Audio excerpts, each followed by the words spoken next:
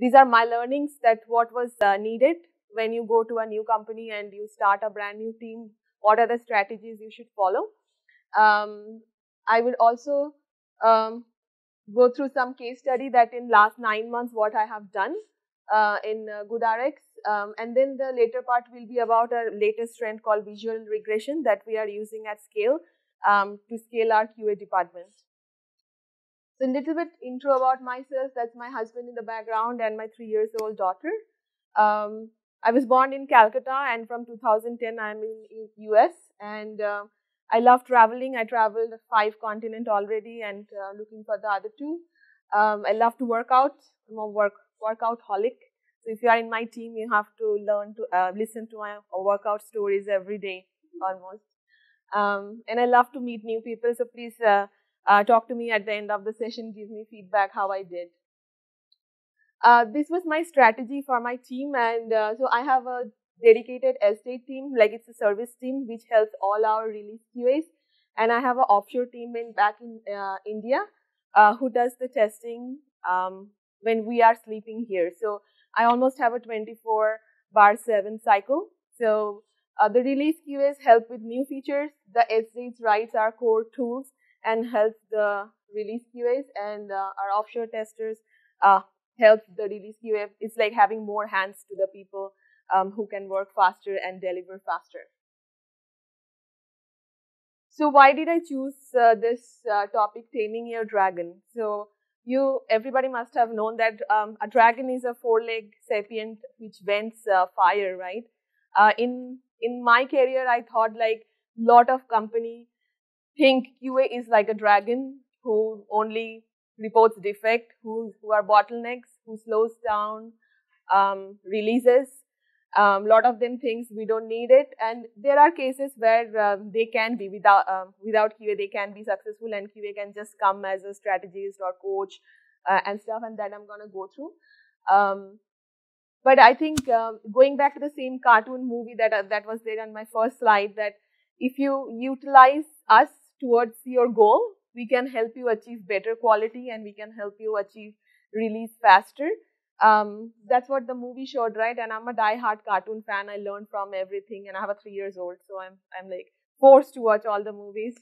Um, so it's like a um, dragon whose name was Toothless, and uh, this guy called Hiccup who was like really different from all the other people. So when his community thought they have to fight dragons, this little guy went and befriended a dragon and utilized him uh, for his own community, right? The same thing, like if you want to want to integrate with QA, think of them as a friend, uh, friend, guide, philosopher, and um, uh, they're to work with you along with you to help you achieve your goal faster and better. I'm sorry the quality of this um, picture is not enough, but I just want to touch base like what exactly QA means, what a test engineer actually does uh, in their day-to-day life. It's not just looking at requirements and matching requirements that it is um, um, working or not. We wear lot of hats. Sometimes we are designing, sometimes we are strategists, sometimes we are communicator, sometimes we are. Um, I, would say you have to be very political to talk to some uh, people in the team so that you are not offending them, right? Sometimes uh, you have to just observe from the far if they are getting offended. Um, so everything like in our day-to-day job, it's very, very important uh, that we wear this um, different hats and I got this from um, LinkedIn and I was very fascinated that how much like one person does in every team and it's so true. Um, so next we're going to talk about some key factors. So if you are joining a team tomorrow where there is no QA and you're going to integrate a brand new QA team, what you should uh, think about. So the next few few slides gonna be um, talking about that. Um, so the first factors I found is size. So work like you could end up working for different kinds of company. A pre-startup maybe, uh, which is not yet live, and um, there the risk is really low, right? You don't have to support a lot of people. The budget might be an issue, so you might be restricted to use tools those which are free. Um, you might have to even support like 10 developers with yourself and you have to come up with a strategy like how with minimal budget you will be able to integrate like one example I will give, like when I was working for a startup called HomeMe, there were no budgets, so my whole team was crowdsourced. I utilized a company called Applause and like I used to send all the releases like to them and they used to be my QA and I came up with that strategy that single-handedly I won't be able to support their app, web, API. So how can I um, utilize other things, the crowdsource people who can come and help us doing that. The next one is startup. So they some startup they might have not be um, uh, they might not have started doing QA. So there your job is to do and introduce a process. Uh, they might not have budgetary issues, but risk can be very high in some cases because when they're integrating QA, they are expecting you that you will be giving them really uh, good quality. And then there is some big enterprise like Visa, um, Walmart, where they have like really big team. Like I was taking interview a person from Pandora and he said his team is 37 people big. And he has a dedicated person who goes and makes sure all the mobile devices are on. So not everybody is as lucky to have that team. So when you integrate a big team on a mature enterprise, your strategies will be completely different. So next thing, next big factor was uh, bug tolerance uh, limit, like the risk. Um, so some we we all know that Facebook did not have uh, QA for a long time, right? So uh, the risk is really low, and it depends on the product to product. Uh, again, if it is a pre-released app, the risk will be really low um, because it's low volume. But then there can be some companies like Heal, where it's a doctor house call company, and a doctor comes to your house and uh, checks you, right? So there, if if your um, medical history is not working, if your EHR is not working, if your IoT is not working, then there is no questions um, like it, it cannot work in production. Like you have to be very sure that your strategies are working for this company. Then come to the present company, GoodRx. They serve almost 10 million customers uh, every month. So even one bug means thousands of dollars. So your strategy will vary, like how you will be making sure that uh, um, the uh, the quality is assured for that kind of company. The next few factors are test environment. So when you end up being the first test manager, sometimes you will be surprised to see that there is no QA environment. There is only dev environment and they just directly push it to production. So it's your duty to coach them that you need a deterministic environment to test um, what you are testing. It's very, very important to have a test environment. Uh, then another big part is team culture. Um, QA is responsibility of everyone. Uh, I'll give example of GoodRx and everybody in my team test the product, the developers, us, the QA, uh, my SDET. So it's not like we are catch-all and they throw over the fence and we're gonna be finding everything. That does not help. And the last one is tools. So uh, when you join as a QA manager or a QA lead in a company, it's very, very important that you choose the right tools, looking at what kind of strength you have. So if you just happen to have QA tester, they won't be able to write Selenium WebDriver. So they, you might choose plug and play, um, uh, play, uh, play and record tools, right? Um, also, you have to see that that record and play tool is gonna work for your company or not. Is it complex enough um, that those kind of tools will not be working? So these kind of strategies really help um, to succeed. This is just a simple code which says path to success and path to failure is exactly same and it's up to you how uh, you choose the path and I, I really believe in this. So this talk is about when I joined the last three companies, what strategies I took. So I came up with a formula that is three steps. One is first few days, just learn from your failure, like why the company did not have QA, why they failed before. Um, then plan, like what you're gonna be POCing, proof of concept, then implementation, and then scale. So when I started learning from failures, these these are the some of the points that came up, and um, the number one was imbalance. Usually, when when a company starts integrating with QA, there is like really low number of QA, like one or two, and they think they are unicorn and they're gonna support everybody and find everything. So as a QA manager, I think we have to set the expectation right and say that that does not work, and we have to scale or come up with a strategy that the balance is there between um, QA and um, developer. So then there is no process. I think one of the key things as a QA manager you can do is you can introduce processes like what helps. So how the Jira workflow gonna work for your team, how uh, how you will be doing automation. Will there be CI pipelines? Will there be uh, manual QA needed on production to do sanity? Do you run regression every night? Those kind of strategies. Um, then fragile regression suite, which takes hours and days. So as a manager, I think it's very important um, you educate your team with the newest technology and uh, make sure they know the industry norm, how, how much uh, time it should take to run your regression cycle. And I have few slides to go over um, that and uh, I'm going to show you what the ind industry standards are. The major problem I found um, in most of the companies is that there is no test hooks. So if you just join a company and you just start writing automation tests, it will be very, very fragile because if you don't have dedicated test hooks or IDs, um, it will fail left, right, center. And I'll give an example of um, companies like uh, GoodRx. We run a lot of A/B testing to make sure that our features are um, our, our features are uh, getting uh, like our users are getting accustomed to our features, right? And if we don't have test hooks, our test will not run. It will fail every time we push to production. And we almost uh, push like 15 to uh, 12 to 15 times a day. So then there can be infrastructure issues again. So when you land up as a first QA manager, you might see that there might be breakage uh, end to end. Like there won't be any environment where you can test end to end. There won't be any environment like pre-production where you have to make sure it's exactly like production and you have to verify your test again that sometimes test environments are like completely different than what is production. Like they, they are not thought about, the databases are not as big um, all those things.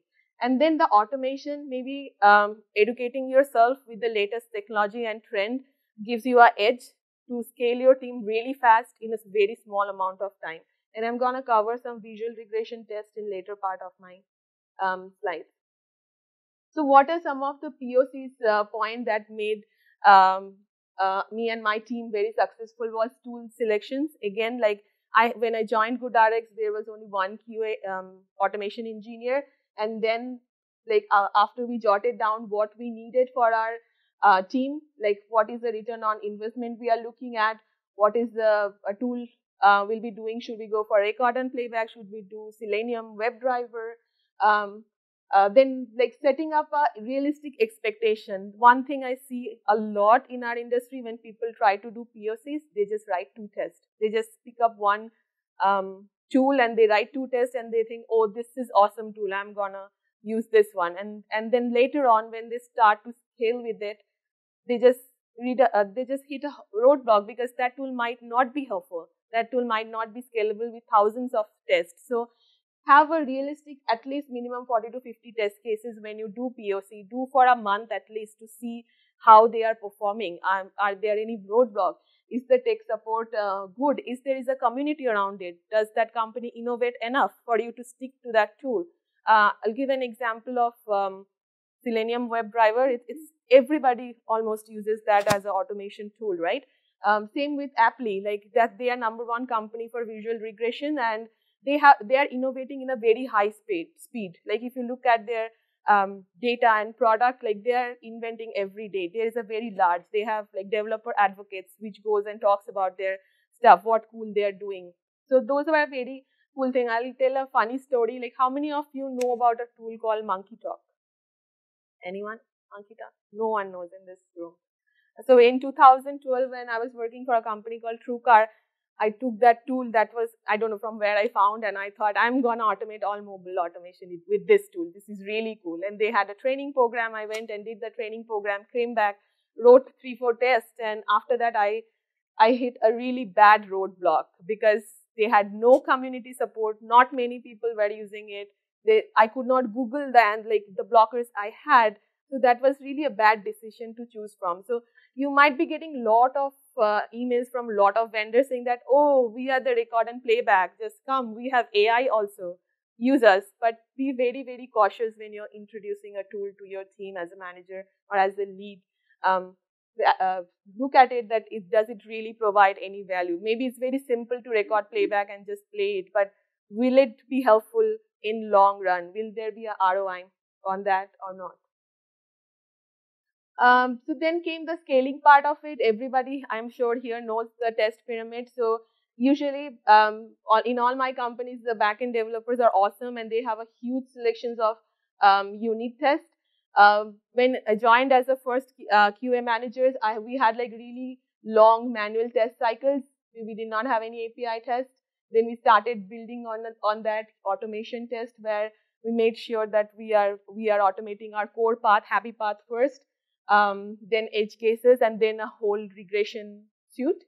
Um, and um, then we like connected to the pipelines and on at the top you're seeing visual regression. That's something like was given to me in my present company by the higher up and it's it's a game changer in the sense that just think about a tool where you have to check manually like 300 pages every time it goes live impossible for a human right to catch stuff um, so we do a visual regression on the top like we started doing that in the first few months this was our pyramid but then today it's changed. Now we have a really large set of uh, visual regression tests and then uh, on the top we do um, manual testing. Just to just to uh, tell you something i have some easter egg all over my um, slides. If you happen to find any mismatch on the uis and uh, any mismatch like any spelling mistakes or anything like that you you are entitled to a really cool water bottle. So just let tell me and uh, and and uh, grab one from there. So i want to pause for a second and tell you so i have a 3 years old and she goes through all these cartoon stories and it's a very famous story called three little pigs. So it's about three, three piggy brothers, and their mom asks them to build a house. So they goes and the first one chooses straw and build the house within hours. The second one goes uh, chose wood, build the house maybe in a day or two. But the third one took days to build a house with solid brick and stuff. So there was a wolf who came and tried to eat all of them. When he came to the first one, he could enter the house immediately. The second one, he could blow it down, but the third one, he could not destroy that house. So, what we learn from this story is any good thing takes time, and you need to write, you need to use right uh, tools to build it to uh, make it go for long run. Coming to the case study, so this is our website GoodRx, where you go search for a um, prescription drug, and it shows the pricing of it it looks very simple, but it's a very regulated uh, industry, and you have to be very sure that when you are showing pricing, when you are showing some information, warning, FDA updates, they are uh, like top notch, and they are there is no mistake because um, it can be very harmful if if something is wrong, right? Like the strategy that I showed you previously, so we started with learning what our QA goals were, so we uh, we needed distributed QA to help like lot of developers immediately. So I had a um, in first month we had like QA teams uh, offshore and then like ramping up onshore really quickly. Then dedicated SDET team who will who will not be asked to do any manual QA. One problem I see is uh, people today say, oh, we have QA engineers, they automate, they test, they do release. But the reality is, if you are supporting release, you hardly get time uh, to do automation. So then that becomes a back burner and you, you don't get to succeed on that. Then choosing a robust uh, framework, uh, doing test, uh, test stabilization pipeline. So one thing that makes my team very successful is we have a test uh, stabilization pipeline using Travis. So every time anybody pushes code to master, it, it goes and it runs against all the other tests using Travis. And then uh, it gives us a report that none of the other tests are affected using all cross browsers. So we support eight different cross browsers in uh, eight different um, devices, and it goes through like almost 500 tests to, to tell us that if the new test is affecting the other old tests or not. That's a great strategy we are using here.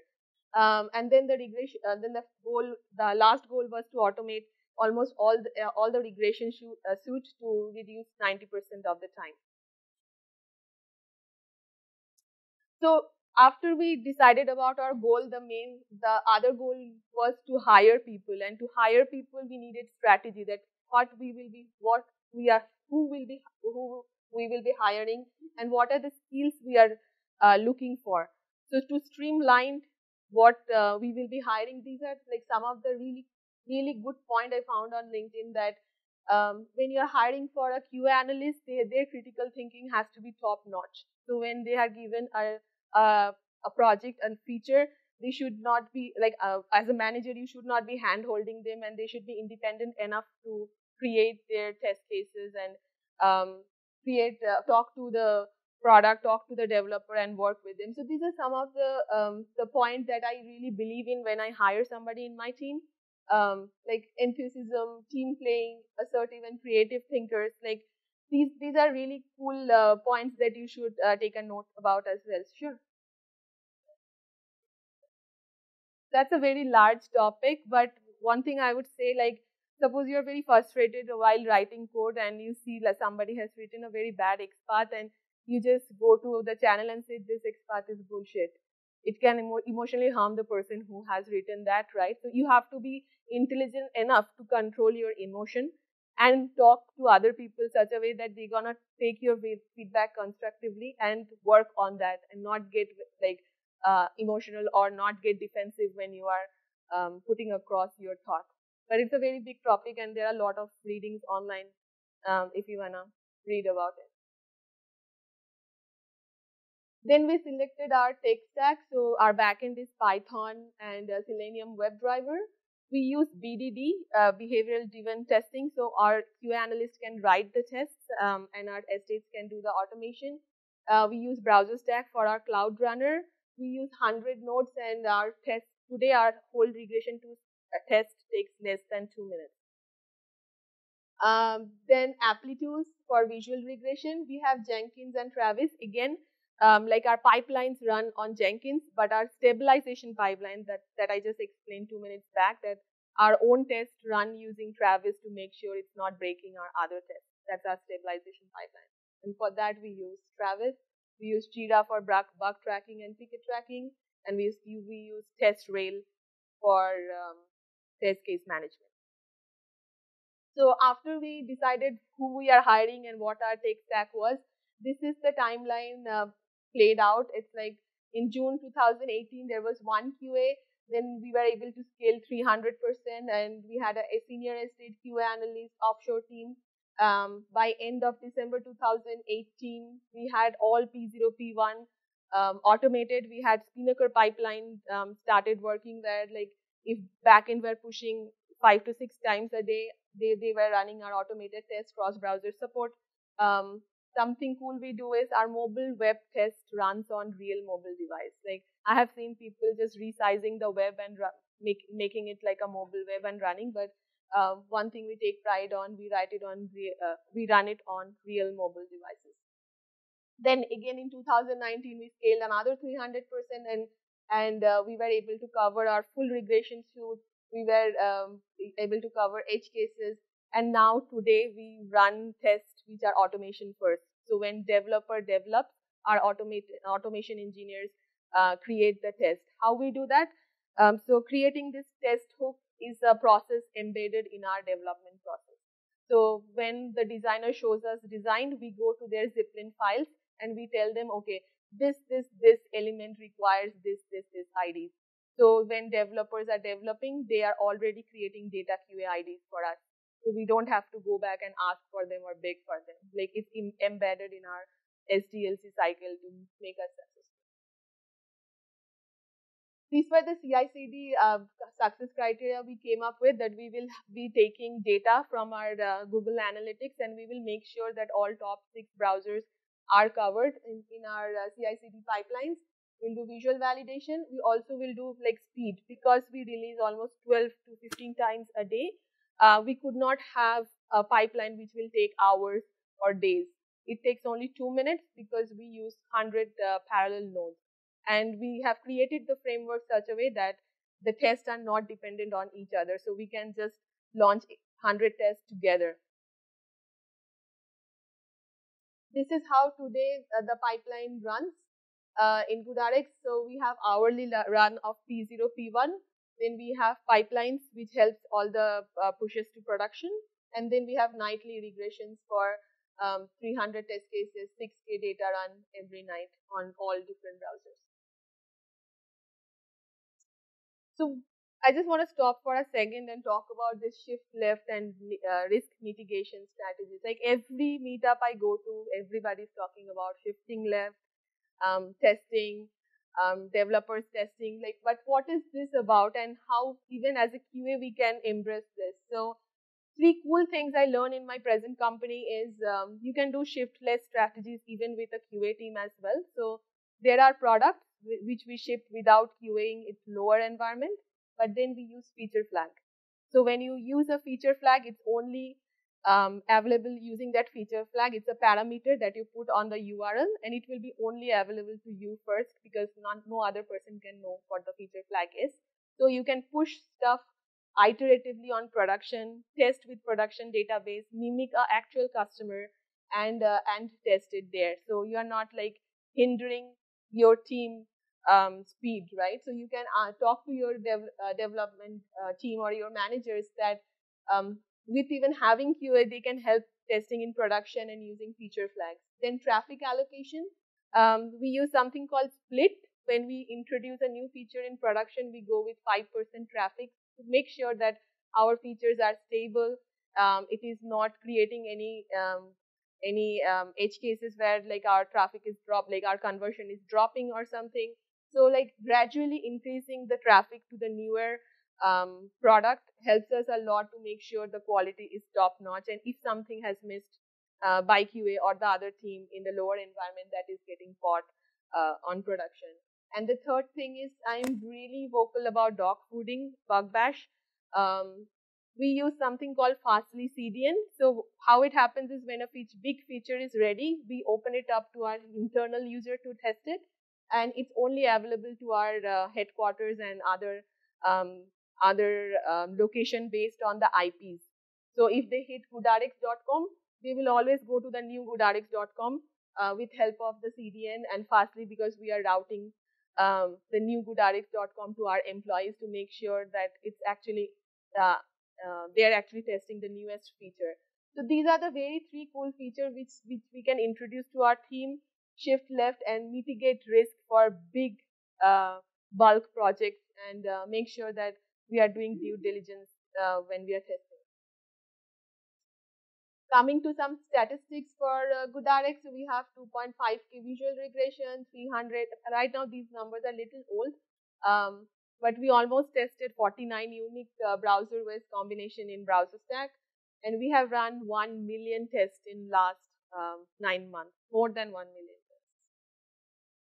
This is actually a screenshot from BrowserStack which says since last six months we have ran 837 tests um, and that was the graph how we um, scaled from zero to 800,000 um, tests. So uh, I showed you very big numbers and uh, it comes with some issues, criticality and responsibility, right? So I'm going to give you some key highlights what we do in our framework that makes our automation so successful. First and foremost is a browser base class. So every every little click, every little action that we do on our um, website, it is wrapped um, in our browser base class, and all the other tests actually extends it. So we have same actions for our mobile web and web, but when it comes to mobile web, you might might have to do something um, different, some something different sometimes. Um, like um, Sometimes you have to uh, make sure the native uh, controller is enabled. You have to click back. All these things are taken care in our browser-based class. So if you are a ma automation manager and you are coaching your new team, make sure um, you know about these things and uh, you're implementing this kind of a base class to make your um, automation super successful. The next is page class. Um, I did tell you that uh, creating data QAID is uh, embedded in our um, SDLC process. So this is the data QAID. You see all the elements that we write, it has a unique data QAIDs here. So how we have implemented here, it's called lazy um, initialization. So we created all the elements before even we are using uh, them in our test. And when you call this element class, it's actually behind the back, it does some plumbing what it does it is this one. So it actually waits for the element. It looks if it is a button, it waits and sees if it is activated. If it is a text box, it waits for the cursor to be active. This way we make sure our tests are not fragile and uh, like you don't have to call the same functions again and again each step which slows our test down so this is taken care in our framework itself the way we have written it uh, this is again another uh, wrapper class for Applitools. So uh, we suggest everyone to use wrapper when you are working with third parties because sometimes they uh, introduce introduce like latest version of their SDKs and it's not supported with the old version. And if you don't have wrapper class, you will be like lost. You have to re rewrite everything from the beginning if they're changing the way a function works. So super duper important that you do this plumbing in your um, in your framework and you are using a wrapper class and you are logging all the exceptions and you're making sure that um, in one one place you are doing the stuff like um, for iOS you have to make sure the top header is uh, cut it off because that's like time and uh, um, date right so all these plumbings are done done here which makes our test super uh, duper um, fast and uh, reliable one thing I want to um, come here and tell you that we use, use page object models. So it helps us keep all the elements in one class and go to one place to make sure if something changes, we come there and we um, change there. So it's, it's like very easy to handle. Some other cool thing we do is whenever our uh, backend engineer push stuff, we get pinged in Slack. Uh, we use BrowserStack APIs to let us know that what the failure exactly is. So we do not have any other reporting. You can just go to the BrowserStack uh, dashboard and you can see exactly if something failed, why it failed. It actually tells you here that we were expecting something in North Carolina. It was supposed to be false, but it's it's true right now. Like that pricing is showing up here. And uh, this is our uh, Jenkins. So this is our Spinnaker pipeline, which shows that um, our cross browsers are integrated, testing are integrated there, and this is um, BrowserStack. Okay, I need a minute. So this is this is uh, visual testing that I'm gonna talk about, and it's super cool. Um, what it does, it, it's like giving eyes to your automated test. It's it's uh, it it actually automatically tests the look and feel of your website. And I'm gonna show you some more stuff, but let's do a fun exercise. Take 30 seconds and let me know nine differences you see uh, in these two pictures. And whoever answers, I'm going to give them these. Oops. Which one is it? Right. The copyright thing, you're right. Can you pass this? One, one at a time, please. Let me choose. Yes, ma'am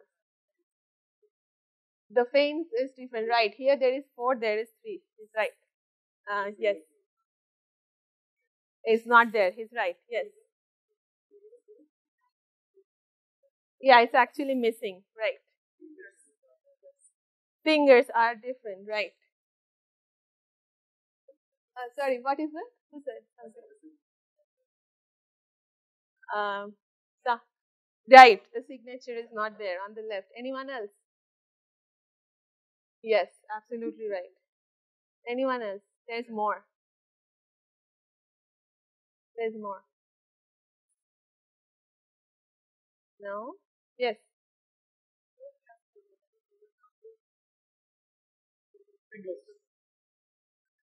Yeah, she's she's right.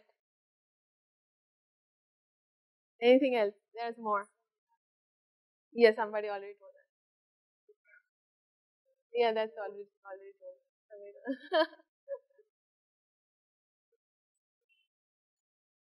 right, because one of the fences was missing, so the bush is uh, uh yeah, please. cool. So you saw it took uh, 30 people 30 seconds to find um, nine or, or so differences. So just think about a poor QA analyst if he, his or her job is to do this day in day out 15 times a day, I think he or she will go mad about it. So this is actually the difference. The leg is little bigger. Um, that was not said. This this has a difference here. The hand is actually little up. Um, this hand is actually little longer. Um, so these were the differences somebody didn't even say. It did not uh, came to our naked eye, right? Like we could not figure out. Like even this hand was little bigger. So if you do a actual pixel to pixel comparison, you can actually see the differences, how the um, the leg is uh, little shifted, how the hand is little up and down, how that leg is missing, right? And so automa using automation, this is like super easy um, to say in within few seconds that what are the difference in a website which is going live uh, in production, if there is any. So when we introduced that, some of the advantages we got is we like like we uh, increase our release velocity like anything. So from like one or two releases a day or a weekly releases, we shoot to um, 10, 15 times a day because of uh, visual automation. And when it comes to visual automation, you have to think about quite a few stuff. So our sites are dynamic, like the pricing change. So if you do pixel to pixel comparison, it will fail every time. So we needed a tool where we could ignore some regions and we could use different kinds of uh, comparison. And Apply gives us that. So they have some different match levels. So if you say layout, they're gonna go to website and just check the layouts of that um, of that page, and they, it will not check for the content. It will not check for the exact values. Uh, same with content. If you just say content, uh, it will go and it will just check match the content, but it will not check for other stuff. And if you do strict or exact, then it will do pixel to pixel um, validation on that. Also, you can tell the test to ignore colors, which is so super cool because we run a lot of A-B tests with colors and font, and sometimes we don't want to test those. We just want to ignore them. So super cool. And they have some artificial intelligence. So every time you thumbs up a failure, their system learns it automatically that um, okay, I'm not supposed to check this next time. So it's it's their system is learning continuously. So these are some Apply, Applitools. So now coming to the fun part, uh, these are actual my findings. In my introduction slide, I said I take guilty pleasure finding bugs in different apps. So you see the left side, it's uh, Macy's, and the error message is actually behind the button. A normal functional test will not find this this bug because the text is present there. It's just hidden behind the uh, behind a button. Same thing, some some random code snippets showed up on uh, GoodRx blogs. Uh, a, a, normal um, automation will not find, regression test will not find it. And the right side is it's actually Amazon, my real account, and the product image and the descriptions um, became null and one day.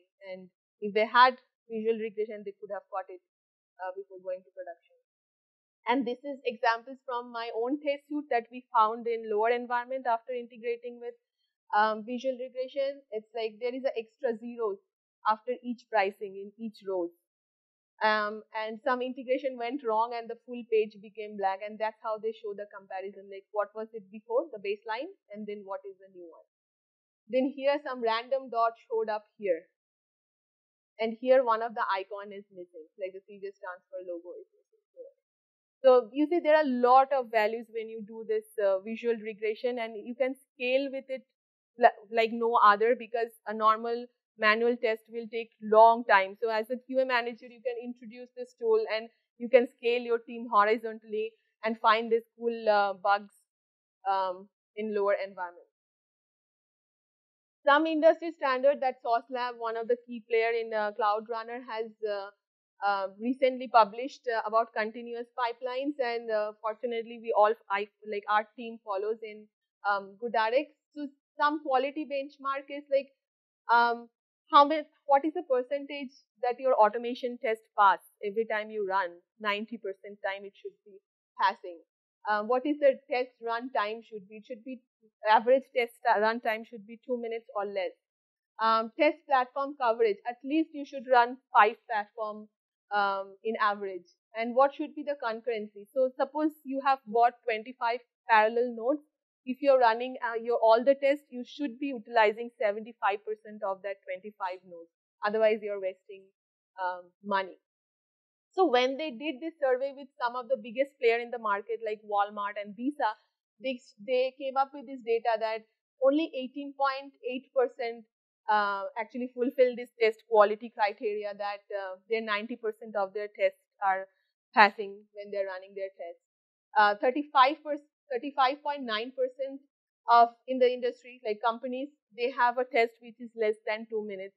So it's like very important you make your test like um, individual and independent, so they are not taking long time. They are not waiting on another test. Uh, this then test platform only 62.5% um, users um, have like five or more cross platform. And then the test concurrency, pretty good, like 70.9% of users are using what they're buying there. But if you look at this number, this is surprising. Like only 6.2% of the organization achieved this for all four benchmarks. So we have so much more to do here, like as a manager, as a lead in our company to get to that benchmarking. Um, so these are again some of the slides where they said like only 35.4% uh, users um, runs under two minutes and like there are seven plus minutes user as well, which is 10.42%. And like this is true, and I know from my experience. Then when we start doing automation, we just use Chrome, and we don't want to do cross browser because IE sucks, and it takes a lot of time. Developer hates, QA hates that. Um, so you see, like 65% of the people are using only Chrome when they are doing cross browser, and very less percentage on 6.2, and very less percentage on on others. And only 8.1% of the company uses real mobile device which is really really surprising. Like when you are testing and if you want to test properly like you have to test it on a on a real mobile device. Like resizing a browser doesn't help much. Uh, there is a three minutes demo but i think i'm almost uh, three minutes away to finish my talk um, i'm going to give you guys a chance to ask me question and answer Yes.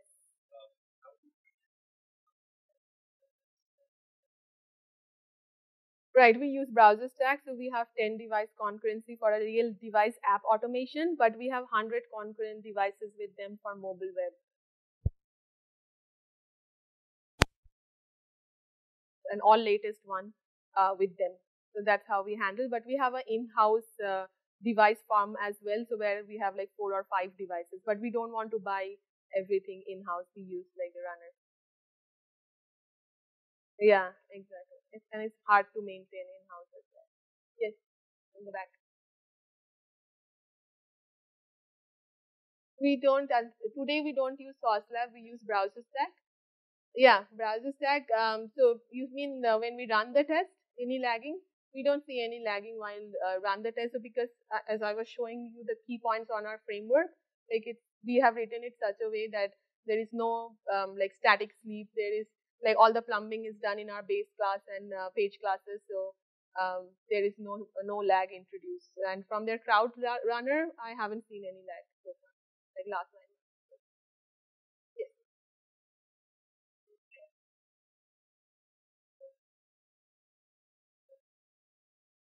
We do not have the uh, API testing framework yet, but in my last company, we had REST assured and Java. And we used to actually create the data dynamically before we used to run our tests. And that's where we want to go. Like we are only nine months old in my present company. So this is a goal for quarter three and four. Yeah, we want to do that.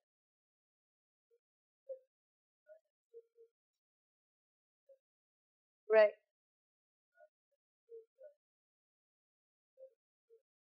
Right.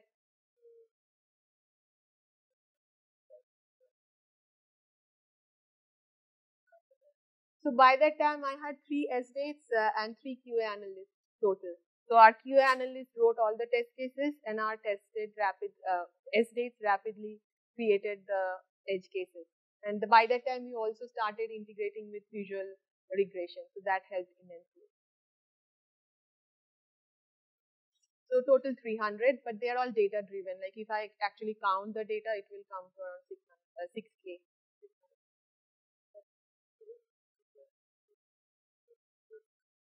No, so SD, uh, is responsible for framework, tooling, um, writing test cases, like helping my release QA. So I have a separate release QA team who does not do any automation other than writing the test in BDD or even normal step uh, expected result definition. But so my SDET teams and my uh, offshore team enable those uh, release QAs to make releases faster. So like they are the more hands to them that they can work faster. Yes. Uh, uh, we we do not exactly do like point by point basis how the code is coverage with our test, but we are integrated from the beginning of the um, uh, agile cycle, like from the, the, from the design and planning that what test we will be running. We show them that what test we will be automating, what environment and um, what environment and IDs we need. So we are integrated and monitor one second, for monitoring purposes, uh, we use uh, Datadog. So when we go live, they monitor continuously that if, if there is any 500, 400 um, stuff or not.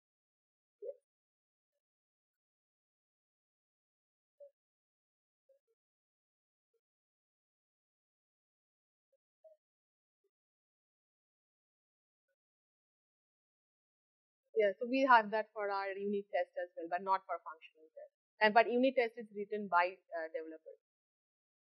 Yes, right. Right.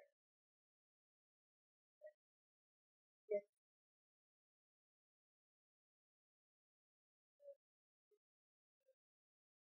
Applitools. Yeah, you got a T-shirt. It's uh, uh, visually perfect.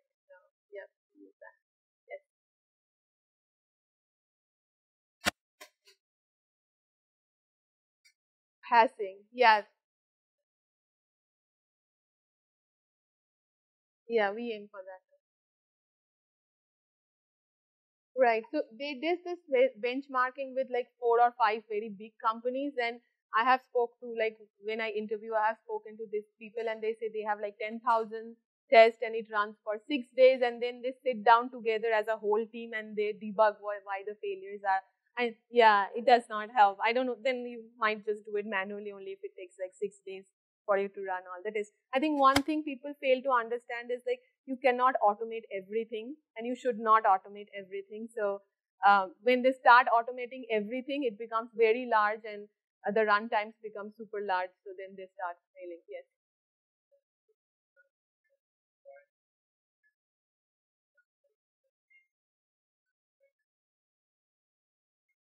Ours also.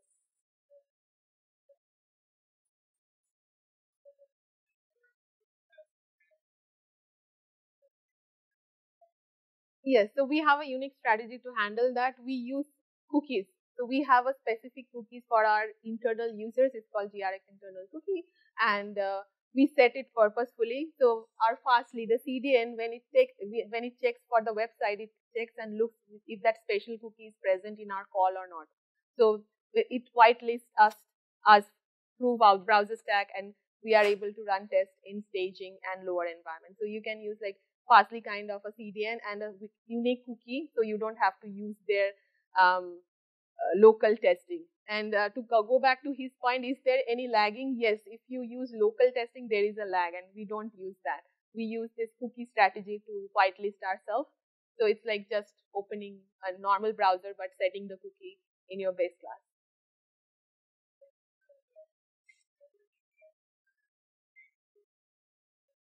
Yes.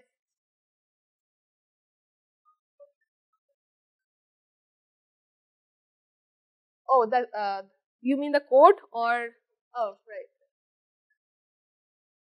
This one?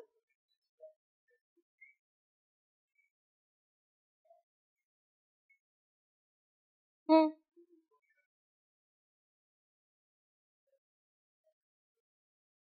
This is a page object model. So these are the elements. No.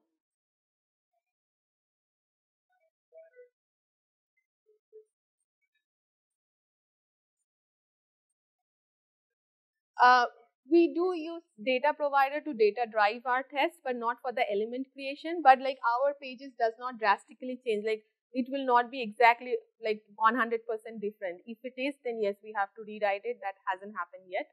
Um, but uh, we do not today. We do not use any data provider for that. Right. Okay.